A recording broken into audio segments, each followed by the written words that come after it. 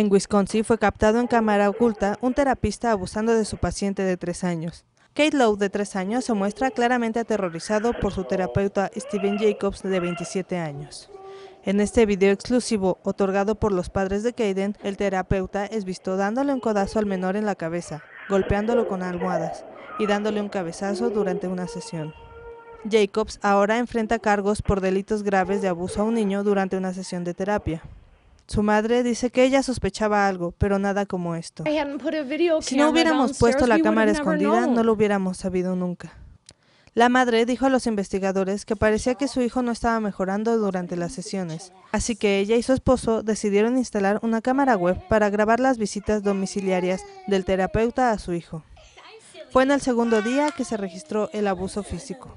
De hecho, fue capaz de ser testigo de todo lo que ocurría en tiempo real desde su iPad. Ahora ella ha recibido llamadas de otros padres con hijos autistas que han tenido sesiones con Jacob.